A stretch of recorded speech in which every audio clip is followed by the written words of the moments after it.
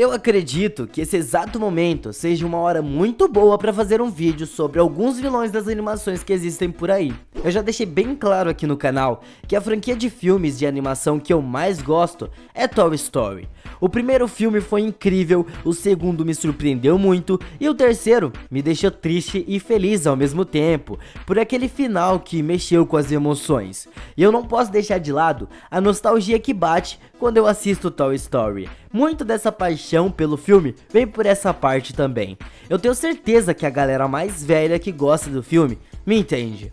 O quarto filme do Toy Story vai sair no dia 20 de junho desse ano e a gente não tem nenhuma informação sobre quem vai ser o vilão desse filme. Em Toy Story 1 foi o Sid, no segundo foi o Pete e no terceiro filme foi o Lotso. Então agora fica a grande dúvida para saber quem vai ser o vilão desse filme. Provavelmente daqui a alguns meses eu vou voltar nesse vídeo e vou deixar um comentário fixado com o nome do vilão do quarto filme de Toy Story.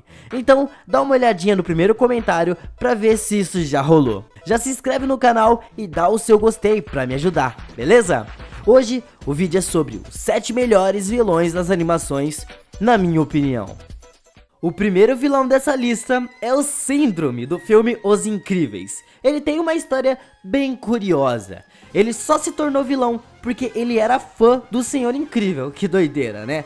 Mas enfim, quando ele conheceu o Senhor Incrível de verdade, ele acabou percebendo que o Senhor Incrível não era tão incrível assim já que o Senhor Incrível foi bem babaca com o Bochecha, fazendo com que ele quisesse se vingar dele, e nessa história toda ele acaba se revoltando contra a cidade toda também. O melhor desse vilão é a sua história, com certeza. Ele gostava muito do Senhor Incrível e acabou sendo deixado de lado porque o Senhor Incrível sempre dizia a mesma coisa: Eu trabalho sozinho, bochecha. E não tinha nada que fazia o Senhor Incrível mudar de ideia. O Bochecha praticamente implorou para ter uma segunda chance, ter pelo menos uma chance, segunda, duas, três, enfim. E o Senhor Incrível deixou ele de lado. Aí o moleque acabou se revoltando e virando o Síndrome, que é um baita de um vilão. Uma única coisa que eu achei vacilo foi ele ter morrido quando ele tentou sequestrar o Zezé e foi acidentalmente sugado por uma turbina de uma nave por causa da sua capa. Como dizia a Edna, Mega Homem, elevador expresso, dinamite, capa presa na decolagem, super tibum, sugado por um redemoinho, nada de capa. Coraline é um baita filme que já deixou muitas pessoas com medo por causa da sua atmosfera assustadora e sombria. A Beldan é a vilã do filme e muita gente gosta dela porque ela é uma baita personagem, um personagem muito bem criado, mesmo não tendo uma história apresentada oficialmente. A Beldan é uma entidade sobrenatural que vive no outro mundo, que é como se fosse o outro lado do espelho. E a Beldan tem o objetivo de tirar os olhos das crianças para se alimentar das almas delas. A coisa ruim dessa vilã é que não foi apresentado um passado para saber do porquê ela é assim. E infelizmente isso acontece muito em animações, filmes, séries, tudo mais. Alguns vilões não têm a história contada. E na minha opinião, tira a imersão que nós podemos ter no vilão, porque nós saberíamos do porquê ele é desse jeito. A Beldan foi derrotada e não morta. E isso, no meu ponto de vista, seria ótimo se a animação fosse ter uma sequência. No final, a Beldan foi trancada no outro mundo de vez pela Coraline e vai ficar lá para sempre, já que infelizmente não vai ter uma parte 2. Isso que eu acho que é um vacilo, não contar para nós o que de fato aconteceu com a Beldan. Poderia ter um segundo filme só contando coisas sobre a Beldan, explicando o passado dela. Eu assistiria numa boa, tranquilo. Tain't all badness. Thou art alive. Thou art still living. Esses dias eu vi que tem uma galera reclamando do design do Scar do Rei Leão no live action, porque ele não tem uma cor mais escura e a cicatriz dele é menor, é pequena. Eu já adianto para vocês que eu achei bem bacana o personagem, por isso eu vou colocar o Scar do Rei Leão como um dos melhores vilões das animações que já existiram, na minha opinião.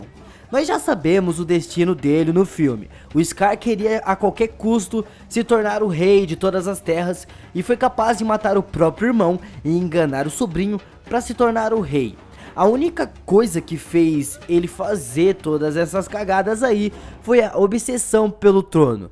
Depois de muitos anos, o Simba retornou para tomar o seu lugar no trono por direito e acabou matando o Scar sem querer. Eu sei, ele não queria fazer isso, mas acabou acontecendo e o Scar acabou morrendo. É, esse é um baita de um vilão, um dos melhores da Disney. E a galera tá reclamando dele agora no live action. Não faz sentido, porque é a realidade. Você vai ver por acaso um, um leão todo escurão, vermelhão, com uma cicatriz do tamanho do mundo no rosto? Não, né? Então desse jeito aí tá mais do que bom pra mim. Um baita de um vilão. Eu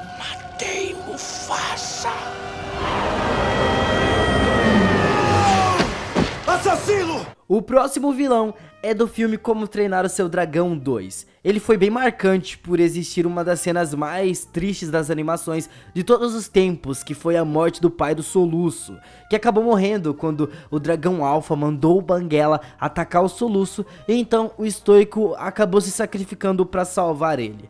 Então por isso ele é, é, um dos melhores vilões que marcou a minha infância.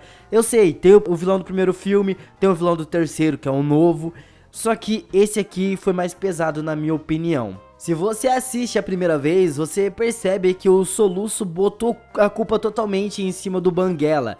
Só que isso tudo, na realidade, não foi culpa do Alpha ou do Banguela. Culpado disso ter acontecido é o Drago Sangue Bravo, que é o vilão do segundo filme de Como Treinar o Seu Dragão. O Drago controla o dragão Alpha, hipnotizando todos os dragões da Ilha de Berk com o objetivo de ter um exército completo de dragões. E isso aí parece ter sido reaproveitado no terceiro filme. Mas enfim, depois que o Banguela enfrenta o Alpha e vence ele, todos os dragões acabam escapando e como consequência, a morte do Drago felizmente acontece. Porque depois que ele fez o pai do Soluço morrer, cara, eu torci pra morte dele. Com certeza absoluta.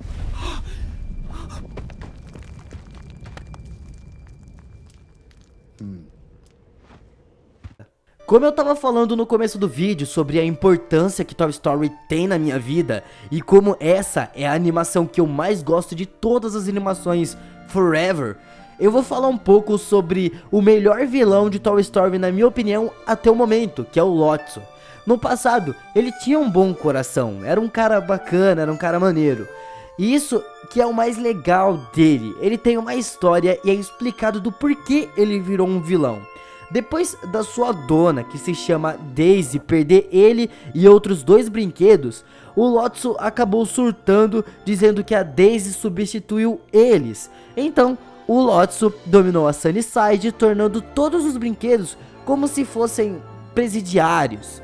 O final para esse vilão foi muito digno de tudo o que ele fez. Ele traiu por completo a confiança dos brinquedos do Andy no lixão deixando eles para morrerem carbonizados. Essa foi uma das cenas mais tristes e impactantes da série, ainda bem que não rolou.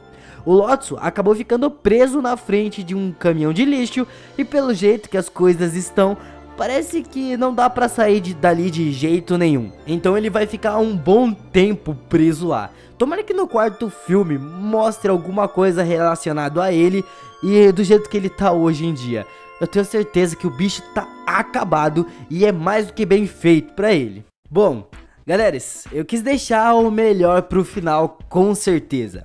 A Origem dos Guardiões é um filme incrível que infelizmente não teve uma continuação por conta do lançamento que foi decepcionante nos Estados Unidos.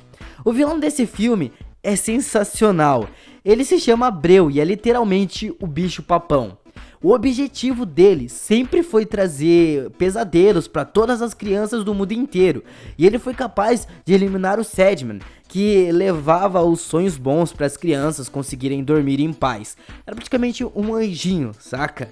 Bom, como ele é um vilão, nós já sabemos que ele não foi muito longe com tudo que ele planejava.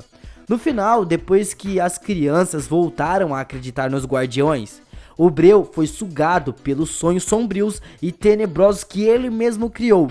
E com isso, nós sabemos que ele morreu ou não, mas ele foi sugado. Eu sei que existem muitas teorias sobre o assunto. Se você quiser deixar alguma aí nos comentários, eu ficaria bem feliz e eu deixaria a melhor fixada aí para todo mundo ver. Eu sei que o Breu tem uma história por trás. Ele faz tudo que ele faz no filme por conta das crianças que desistiram, desacreditaram dele e ele ficou esquecido na escuridão. Por isso que ele voltou com tudo e querendo acabar com tudo. E ele começou acabando com os guardiões e foi levando geral. Então isso é uma pegada muito, muito louca do filme. Eu recomendo muito você assistir se você não assistiu. A história dele é maravilhosa. Eu só não vou trazer aqui um vídeo especialmente sobre ele, porque já existe um aqui no YouTube que é muito bom. Então é só vocês darem uma pesquisada que tem a história do Breu completa. E aqui eu deixei os meus últimos dois vídeos para vocês continuarem assistindo coisas sobre desenhos. Então, eu fui!